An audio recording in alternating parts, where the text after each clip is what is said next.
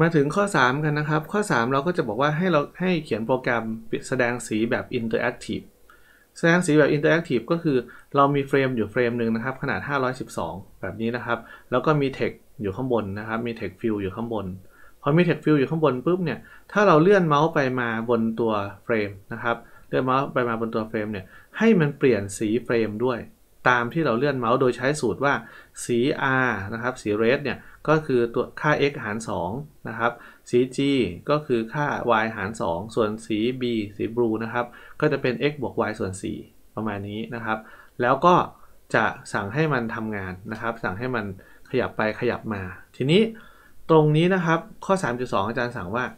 ข้างบนเนี่ยให้เป็น text field ข้างล่างให้เป็น panel นะครับ เราลองวิเคราะห์ดูนะครับ ข้างบนเป็น text field ข้างล่างเป็น panel แล้ว layout เป็นแบบไหน layout เป็นแบบไหนครับ layout ของเฟรมจะเป็นแบบ border นะครับทำไมเป็น border เพราะมันมี node ข้างบน แล้วก็มี center ตรงกลางนะครับ เอาละเราลงมือเขียนโปรแกรมกันเลยนะครับ เราสร้างคลาสใหม่ขึ้นมาชื่อว่า ex03 นะครับ แล้วก็มี main method ด้วยนะครับ จากนั้นอาจารย์ก็จะสร้างคลาสขึ้นมาว่า class my my อะไรเนี่ย my color frame แล้วกันนะครับ my color frame นะครับ โดยที่ extend มาจาก jframe นะครับ extend มาจาก jframe ปีกาเปิดปิดเหมือนเดิมนะครับ แล้วก็ไงต่อครับสเต็ปอ่า constructor ใช่ไหม constructor ปุ๊บนะครับ ก็จะเป็น set size นะครับ หลายคนจะบอกเริ่มขี้เกียจละ copy จากข้อที่แล้วได้ไหม เอาตามสะดวกเลยครับ copy ก็ได้ถ้าเข้าใจนะครับ แต่อาจารย์ขอพิมพ์ใหม่นะครับ เพื่อ เพื่อให้มันเขาเรียกว่าอะไรนะ พูดไปด้วยพิมพ์ไปด้วยนะครับ จะได้มีรายละเอียดนะครับ set default close operation เป็น jframe โอ้อันเดิมครับ exit on close แล้วก็ set นะครับ location relative to now เสร็จปุ๊บนะครับ เราบอกว่าอะไรเราบอกว่า layout ตัวนี้น่าจะเป็น border layout อาจารย์ก็เลยบอกว่า set layout นะครับ set layout ให้เป็น new border layout นะครับ border layout แบบนี้ เราก็จะได้ layout มานะครับ ทีนี้ในในเฟรมของเราเนี่ยมีมี component กี่ตัว มี text field ใช่ไหมครับ กับ panel ข้างล่าง ฉะนั้นอาจารย์ก็ต้องมาสร้างข้างบนว่า j text fields นะครับ ก็คือเป็น tf tf show แล้วกันเพราะต้องการจะโชว์ค่าใช่ไหมครับ เท่ากับ new j text field ครับ แล้วก็จะมี panel นะครับ j panel นะครับ เป็น pn color นะครับเป็นจะเป็น color panel นะครับ เท่ากับ new j panel นะครับ ก็จะได้ประมาณนี้ละนะ ทีนี้เราต้องมาวิเคราะห์ อ่า โอเค พอ GUI เสร็จปุ๊บนะ GUI เสร็จ อาจารย์ก็จะสั่งนะครับ สั่งว่าใน main method ก็คือ my color frame นะครับ my color frame ของเราเนี่ย เท่ากับ new my color frame นะครับ สร้าง object my color frame ขึ้นมา แล้วก็สั่งโชว์นะครับ จุด set visible นะครับ เป็น true แบบนี้เหมือนเดิมครับ test run test โปรแกรมก่อน พอ test run โปรแกรมปุ๊บก็จะได้หน้าตาเป็นแบบนี้ เหมือนเดิมอีกแล้ว มันหายไปไหนเนี่ย text field กับ panel ก็เรายังไม่ได้ add ไงเราลืม add text field เข้าไปครับ add text field เข้าไปที่ตำแหน่ง border layout จุด north เอาไปอยู่ที่ตำแหน่งข้างบนนะครับ ต่อมาก็เป็น add ตัว panel เข้ามาครับ ที่ตำแหน่ง border จุด center ครับ แบบนี้ก็จะอยู่ที่ center ฉะนั้นรันโปรแกรมขึ้นมานะครับ เราจะมีตัวข้างบนนะครับเป็น text field แล้วข้างล่างตัวเนี้ยจะเป็น panel นะครับ ทีนี้โจทย์บอกว่าให้ทำไง บอกว่าให้เลื่อนเมาส์ไปมาบน panel แสดงว่าเหตุการณ์เกิดขึ้นที่ panel ถูกไหมครับ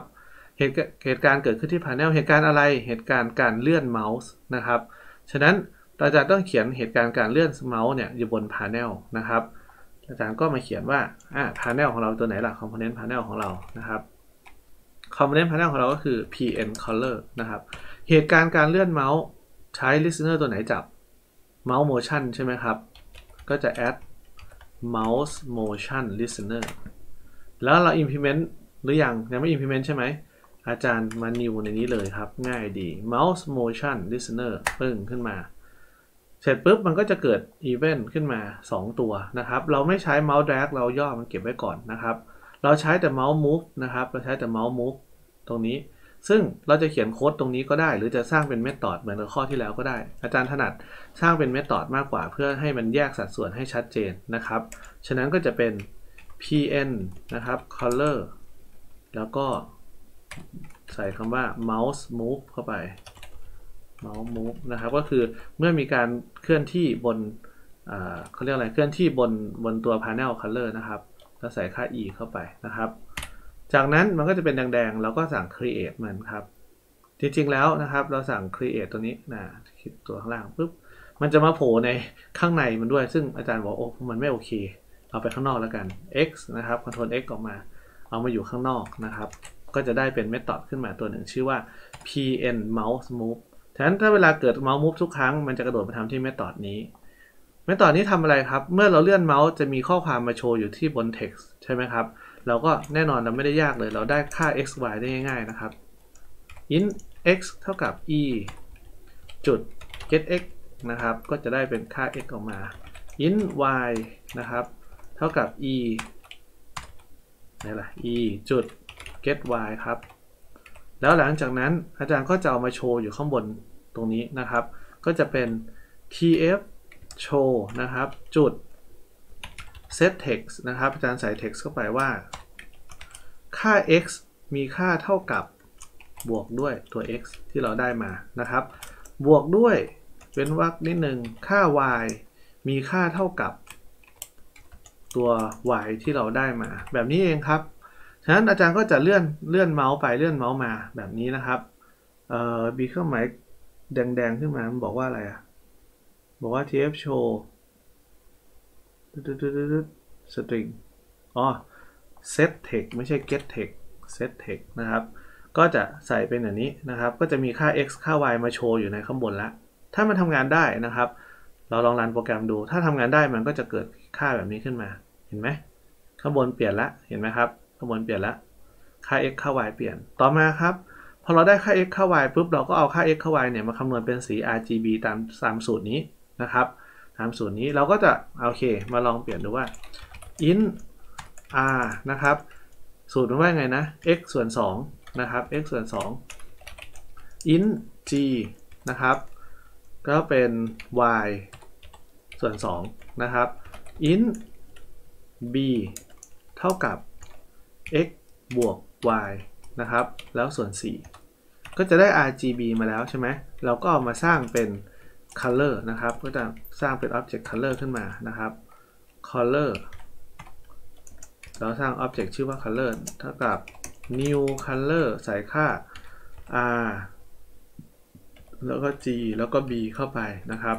ก็จะได้เป็นสีขึ้นมาจากการเลื่อนเมาส์ของเรานะครับ แล้วก็เขาบอกให้เอาสีตัวนี้มาโชว์อยู่ข้างบนด้วย ฉะนั้นอาจารย์ก็จากเดิมตรงนี้ครับ อาจารย์ก็ Ctrl X ลงมาข้างล่างนะเอามาใส่ตรงนี้ จากเดิมที่โชว์แค่ x กับ y อาจารย์ก็จะบอกว่า งั้นก็โชว์สีด้วยนะครับ ก็เป็น color สีอะไรนะครับ เท่ากับวงเล็บเปิดด้วยอะแล้ว enter ลงมาข้างล่างนะครับ มีวงเล็บเปิดก็คือจะเอาค่าสีเป็น RGB ใช่ไหมครับ ก็จะเป็น R มีค่าเท่ากับตัวแปรตัวแปร R ที่เรารับมาถูกไหมตัวแปร R ที่เรารับมานะครับ แล้วก็บวกด้วยบวกด้วยขอบมาครับ g ก็คือตัวแปรที่เรารับมาเช่นกันนะครับ บวกด้วยค่า g ครับ แล้วก็มาบวกด้วย ค่า b ที่เรารับเข้ามาครับ บวกด้วยค่า b ที่เรารับเข้ามา และสุดท้ายบวกด้วยวงเล็บปิดนะครับ ก็จะได้ประมาณนี้ เราก็จะได้ค่า x y r g b ทุกสิ่งทุกอย่างมาตามตัวอย่างตัวนี้ละ แล้วมันก็จะโชว์นะครับ จะโชว์อยู่บน text นะครับ ทีนี้หลายคนทำมาถึงจุดนี้แล้วคิดว่าโอ้ได้ชัวร์ๆแล้ว ทีนี้อาจารย์รันให้ดูจะเกิดอะไรขึ้นปึ๊บนะครับ พอเราเลื่อนเมาส์ นะครับพอเราเลื่อนเมาส์ตามนี้เห็นไหม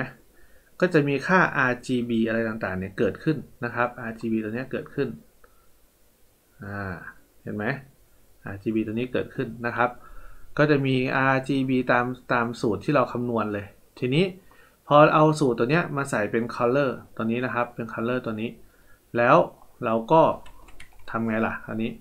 เราก็เอามาเซตให้กับ panel ถูกไหมครับ เอามาเซตกับ panel ทีนี้พอเซตให้กับ panel เซตยังไงอะให้กับ panel ก็ pn color จุด set color เออโทษโทษที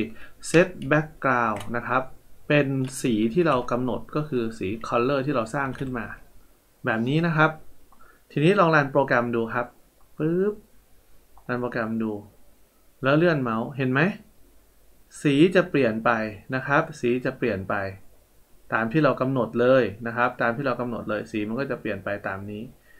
สะดวกดีไหมอ่าเห็นไหมข้อนี้นะครับก็คือเราจะเปลี่ยนสีทุกๆ ครั้งเมื่อเราเลื่อนเมาส์นะครับฉะนั้นอันนี้ก็คือข้อ3นะครับนี่คือข้อ 3 ที่เป็นโจทย์ของเรา แต่ทีนี้เราลองมาดูนิดนึงครับ ในส่วนของข้อ4นะครับในส่วนของข้อ4เนี่ย ส่วนของข้ออาจารย์บอกว่าให้ทำตามการบ้าน ซึ่งถ้าในเราเรียนเลคเชอร์กันจริงๆนะครับเราจะมีการบ้านให้ทำตั้งแต่ในสไลด์ที่แล้วนะครับตั้งแต่ในเลคเชอร์ที่แล้วว่าให้ทำโปรแกรม GUI ตัวใดตัวหนึ่งอะไรอย่างนี้นะครับฉะนั้นหลังจากนี้ไปนะครับถ้าใครที่ทำ lab เสร็จแล้วก็ให้เอาการบ้านขึ้นมาทำต่อนะครับการบ้านก็จะเป็นการสร้าง GUI ที่ค่อนข้างซับซ้อนพอสมควรนะครับค่อนข้างซับซ้อนพอสมควรฉะนั้นเราก็มาทำการบ้านกันต่อนะครับส่วนในเลคเชอร์นี้ก็คือ เสร็จเรียบร้อยแล้วนะครับ ในส่วนของการเขียนโปรแกรมที่เป็น GUI Action Event ในสไลด์ในเลคเชอร์ที่ 4 และเลคเชอร์ที่ 5 นะครับ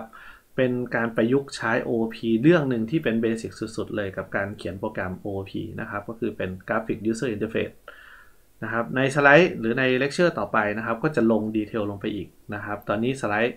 Lab เราทำแค่ 3 ข้อก็พอนะครับ